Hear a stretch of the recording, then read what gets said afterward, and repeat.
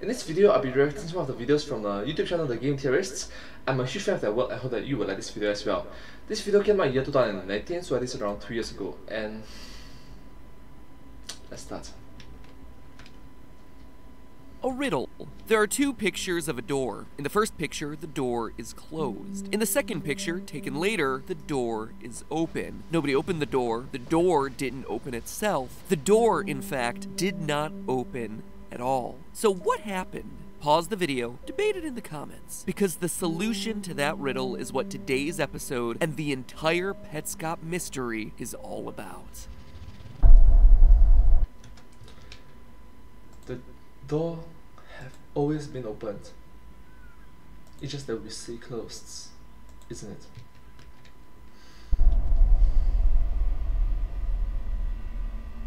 Internet! Welcome to Game Theory. Hello. Hello to Game Theory. Hello.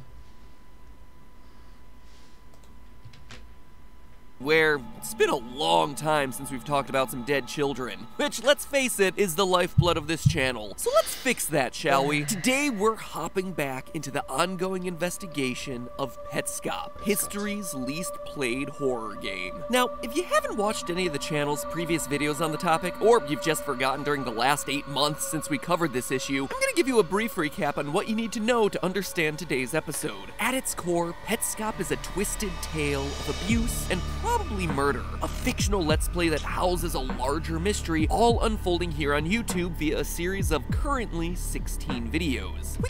No. It's always sad to listen to this.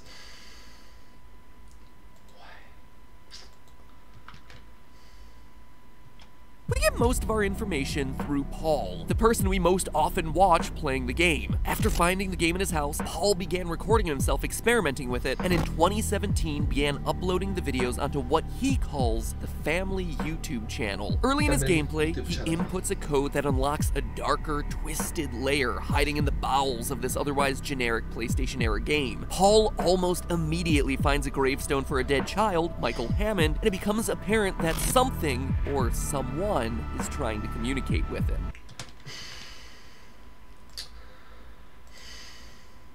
It's just a very sad. Gosh. As I went over in my previous theories, I believe that that person is the game's creator, Rainer, who originally made the game as a means of accusing someone named Marvin of horrific crimes against children, potentially even trapping him in the game. Mix in a bunch of censored imagery, talk of rebirthing, and the game's sparse atmosphere, and you have yourself a masterpiece of slow burn psychological horror. Now, Petscop is an enormous puzzle with layers upon layers of mystery, telling a much more complex narrative than pretty much anything that this channel has ever covered, save for like Dark Souls. This is far, far more complex storytelling than FNAF. As such, it would take a massive theory to do everything in this series justice. There are just too many unanswered questions that need to be solved, and I'll be honest, I don't have all those answers. At least, not yet. However, I do feel like I have some answers. Some really important answers to some of the biggest questions in the game. So today, I'm gonna attempt to answer two major pieces of the puzzle, which together will outline the very essence of how I think this universe is operating and lead us to potentially the biggest reveals yet. First, what is the purpose of Stravinsky's septet? And second, what Oh. happened to the windmill? Which is perhaps the single biggest question that's been looming over the series since the second upload. Oh no. What is. Where is the windmill? First, the piano. Petscop is a game that gives us nothing. Actually, let me rephrase that. It gives us a lot, but rarely is any of it explicitly told to us. Instead, it's all hidden under allusions to eyebrows and windmills and rebirthing. Want to know who's related to who? Check the eyebrows. Want to know what year we're in? Check the calendars. Want to know who's playing the game at any given moment in time? Great! So do I, because it is harder to figure out than you would think. But one piece of information it does explicitly give us is the name Stravinsky's septet. A re- Stravinsky septet. Stravinsky septet. Oh, I, oh my god, I'm pronouncing it wrongly. I'm so sorry. I'm sorry. real piece of music from a real composer out Oh. here in the real world. It's first mentioned by name during Petscop 12. Quote, I'm calling you Belle because that's who you are. You might be confused as to what happened. I was over eager before and started calling you Tiara prematurely. I created a space in the menu for you, still unused now. Then I put you inside the machine and played the second movement of Stravinsky's septet on the needles. I played it wrong, but that would have been okay. If you hadn't given up halfway, you would be Tiara. This is not what happened, and now I'm gone. There it is, mentioned explicitly by name, which means that there's gotta be something unique about this particular piece of music that the creator of Petscop really wants us to know about. And that's not all. Sure, Stravinsky's septet is first mentioned in Petscop 12, but listen closely throughout the series and you'll see that the notes of the septet have actually been a recurring musical motif throughout the entirety of the series. A sped up version first made its debut during episode 7. Wait, what? Seriously? Hmm. as the unusual noises that play in the quitter's room.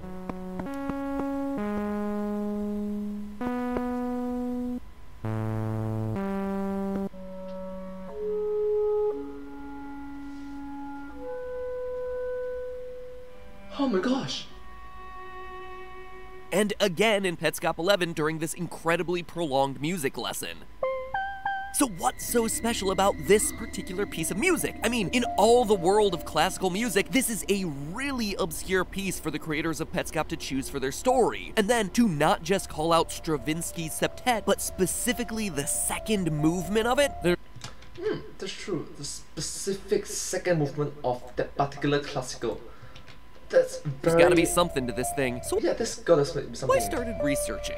First, it's important to note that Stravinsky's septet is divided into three separate movements. This, to me, is an important detail since the Petscop story is divided into three very distinct time periods. 1977, where it all begins, when Marvin causes his friend, who I've guessed in the past is named Tiara, to disappear, along with a windmill. It was a busy year for the guy. Second is the mid 90s, when the actual game of Petscop is created by Rainer and given to Marvin, and when kids like Michael and Care start disappearing and reappearing. And lastly, 2017, when our protagonist Paul finds Petscop, starts recording his Let's Play and the haunted behavior happening inside the game, and then begins uploading those videos onto YouTube. It's a story told in three major acts, just like the three movements of the septet. We're also expressly told that the main house we visit, Rainer's house, is frozen, captured at three different points in time. Three Oh. movements yet again. Now, consider the fact that it's a septet. By its name, a musical piece for seven people to play.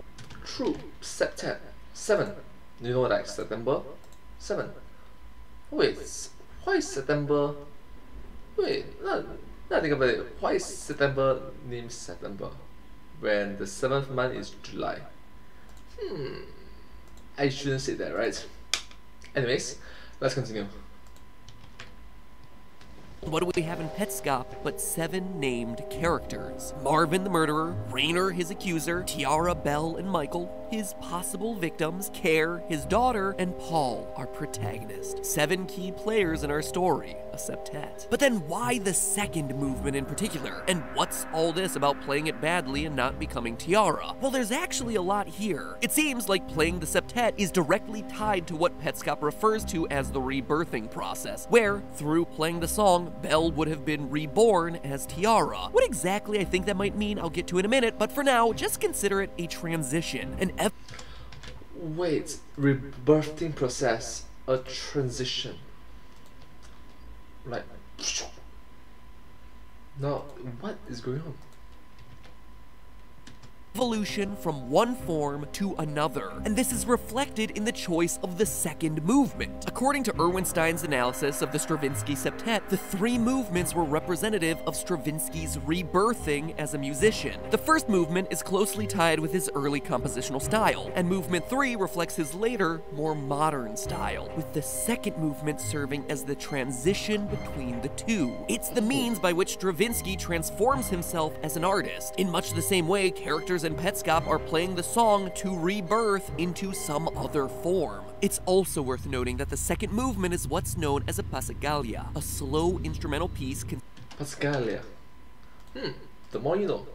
Today is we can learn uh, about musical education. Yay!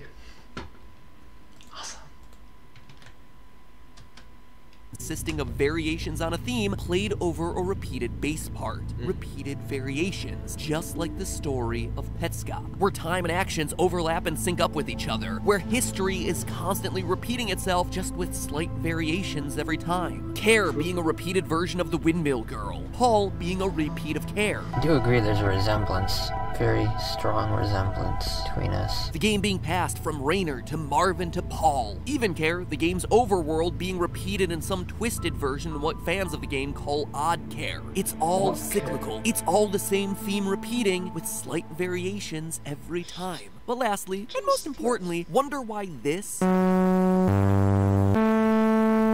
sounds so random and gross and not like something someone would actually want to compose? Well, that's because it's a variant of what's known as 12 tone serialism, where Oh, so it's 12 tone serialism. To put it simply, all the notes are treated equally. As such, the music never feels like it truly lands in any one solid key signature like 99% of the songs that you listen to. It instead gives it the sound of a bunch of random notes instead of, you know, an actual song that people would want to listen to. Here's why this is so important. According to experts on the Let's Talk Music subreddit when discussing 12 tone compositions, the 12 tone technique is controversial and is criticized as being robotic or reducing music to algorithms, becoming the equivalent of soulless noise. And here is where we unwrap the true meaning of rebirthing. I've mentioned in a previous theory how it feels like Marvin is trapped in the game, and it's something that Paul senses as he plays. This game is trying very hard to make it seem like like there's an entity in it, like uh, a ghost or an AI trying to communicate with me. Trying to communicate with the player. What? But it's the choice of the septet that confirms that this is actually what's happening, and that playing the song is the method by which it happens. I mean, think about it. We have seen hidden images in the game that show real world pianos with controllers attached to them. In Petscop 16, we see the floor layout of a room where the piano itself is being kept. A room that feels an awful lot like a prison, or scientific testing room in the way that it's being monitored. And we're being reborn by playing a song that we just learned outright serves as a bridge between art and algorithms. The rebirthing process then seems to be entering the Petscop game by playing the song, converting a real person into a computer program, trapping them there until eventually they're able to be spat back out, perhaps by playing the song again as someone or something new. Now let's talk about this. Oh my god. What? What? Second big mystery of the game, the windmill. Rainer poses this question to Marvin in Petscop 9. You must have guessed, but I was looking through your things. I found that picture of you from 1977, standing in front of an old windmill with your friend. You went there, and it was a bad idea. Your friend and the windmill both disappeared into thin air. Her sister was holding the camera. She took another picture minutes later, just you, no windmill, and no friend. Your friend never returned with you, and the windmill was gone. I went to see it myself. Where is it? What did you do? The windmill is one of the key icons from this series, appearing and disappearing seemingly at random, showing up in photographs, letters, most recently making yet another crucial appearance as a miniature at the start of Petscop 14. It appears to be the location of Marvin's first crime, the place where his friend was lost forever. Clearly, Petscop's creator intends for us to figure out the mystery of the vanishing windmill. Oh, the vanishing windmill. Hmm. Tell me more. And up until this point, it has remained completely unsolved. But I think, with release of episodes 14 and 15, we may finally have enough information to put the pieces together. We're first introduced to the windmill in episode 2, but it's in Petscop 4 when the windmill actually disappears. However, even though it's no longer there, something still exists in its place. It looks sort of like a placeholder for it. Of course, we know from Petscop 9 that the Placeholder. missing windmill texture isn't missing at all.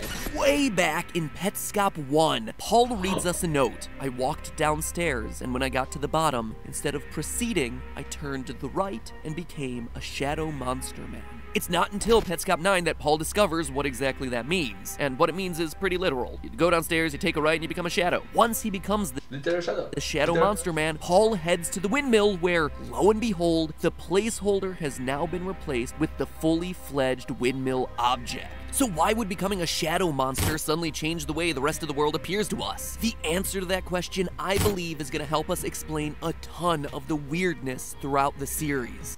So maybe what he meant is that the windmill exists in Shadow World and not the real world in the game. I believe that by becoming a shadow, Paul has changed what dimension he's seeing in the game. Paul's avatar has basically been rotated along an axis that we can't see so that his shadow replaces his avatar. Oh, it's something like a parallel world in the game. And now, in the process, he's able to see things in a different dimension that persists. It just persists at a different rotation that's usually invisible to us when we're playing the main game. Now, this idea of dimensional rotation may seem like it's coming out of nowhere, but let's take a minute to look at episode 14. It starts with the riddle I asked you at the beginning of this episode a door that's simultaneously open and closed. The episode then spends the rest of its runtime focused on the way things are rotated. Midway through, there's an extended sequence where Paul plays around with a series of CDs and picture frames, all rotated at slightly different angles around a vertical axis. The kind of thing that the player normally can't do in Petscop. Later in the same episode, when we see the game reload, the game maker's logo, Garalina, now ends up at a radically different angle than it did in the beginning of Petscop 1. The differently rotated logo reveals to Paul a game with totally different save files. The last we saw of this screen was in Petscop 10. Paul's files were named Paul, Test, and Backup. Strange Situation is an entirely new save file. Based on this hypothesis, the original files aren't gone, and the game didn't delete anything. It was an issue of Paul booting up the game unintentionally in a different state, at a different rotation. And finally, if all of this wasn't enough, at the end of the episode, Paul gains access to the house's mysterious garage, a door that was once closed and now, for some unexplained reason, open. How the door open? It's the answer to the riddle. Two dimensions at two different rotations, pictures taken at different angles. Inside the garage, we find a computer, the computer Rainer presumably used to program the game Petscop. On his computer's tower is this strange symbol. Is it a company logo?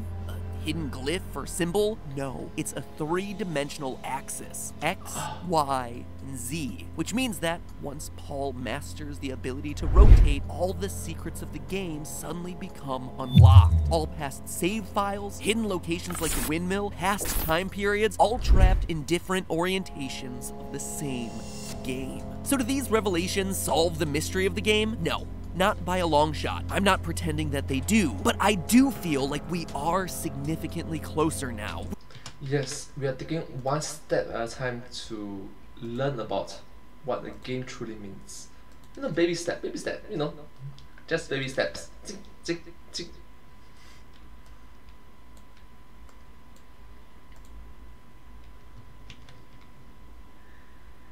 Two key questions that are much closer to being solved the true nature of the rebirthing process and the lost location of the windmill. Petscop 16 currently seems like it may be the final installment. It certainly has an air of finality to it, but at this point, only time will tell. But hey, it's worth remembering as we close out this episode that Petscop is a real game. The people Ah. behind the series are literally making a video game just so they can film a fictional let's play of it to tell their bizarre creepypasta. It's actually one of the reasons I love the Petscop series so much. It is perhaps one of the most modern examples of storytelling out there. And guess what? If you too have a story that you want to tell, you can do it too with the help of our sponsor for today's episode, Skillshare. You've heard us mention Skillshare before. They've been a fantastic partner to all us theorists. It's an online learning community specifically oriented for creators, with more than 25,000 classes available taught by experts in their respective fields. For instance,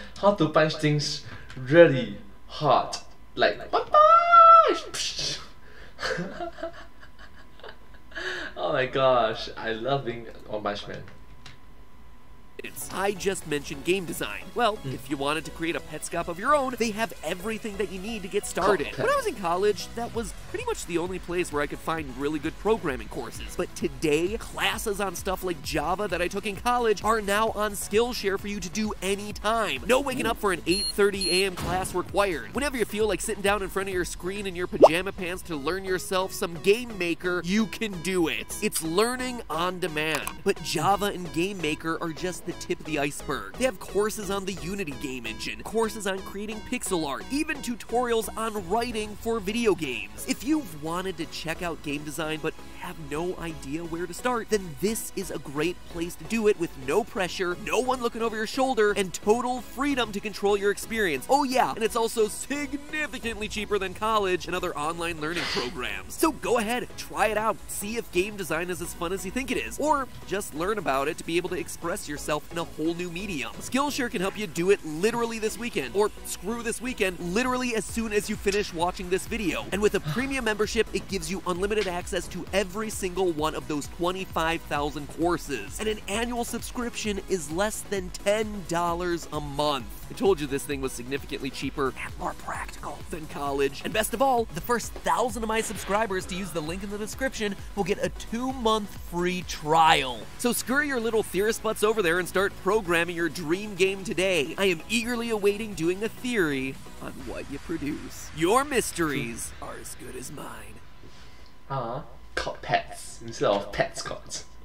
now that would be interesting to know. Thank you so much for watching this video. This video came out from the YouTube channel The Game Theorists. I'm a huge fan of their work. I hope that you will like this video as well. Do do check out more of their works and their videos are awesome. Thank you. If you do like my videos, please consider to like, share, subscribe to my channel, and comment down below if you have anything to share with us. And yeah, just follow my channel. Thank you. So it's like, share, subscribe, comment, follow. Thank you. And I'll see you next time. But hey, that's just theory. A game theory. Thanks for watching.